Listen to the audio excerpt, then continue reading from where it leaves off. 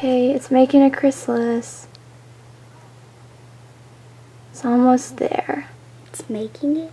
Uh-huh. I thought See the out. skin at the very end. I thought it was coming out.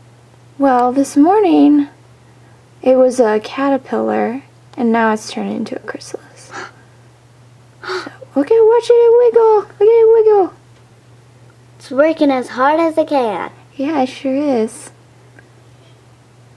So what it does is when it's a caterpillar, it spins silk and it attaches itself so you can see the silk. And that's how it's going to make it stay up in, uh,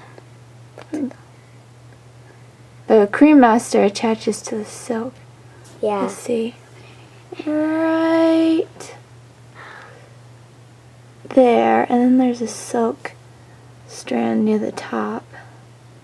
It's really shaking. So what it has to do is it will shake until it gets that skin all the way off. And then it has to harden. And when it hardens, looks like that. McKenna, you want to go grab the butterfly that has come out so you can show everybody? Do I take the lid off? No, just bring it over here. Come on, buddy. Let's see, bring you here. Okay. It is, beautiful butterfly, and this is a female. And the crazy thing is they both did it at the same time. The butterfly came out while the chrysalis was, Making its form. mm-hmm. Maybe it must be that the sun triggered it because the sun just started coming out.